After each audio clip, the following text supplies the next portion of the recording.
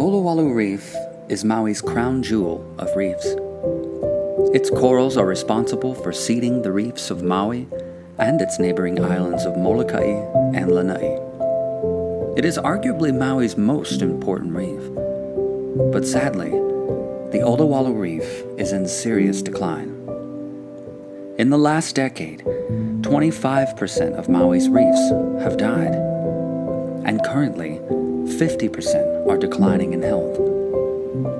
The Honoapi'ilani Highway is the main access road connecting West Maui to the rest of the island. To protect this road, seawalls have been proposed.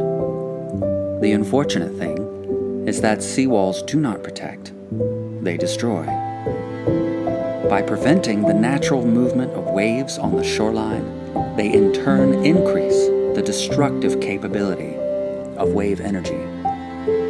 They ruin our beaches as they erode the coastline and distribute sediment on top of our reefs.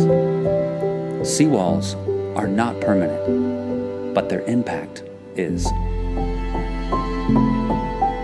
Learn more at mauireefs.org.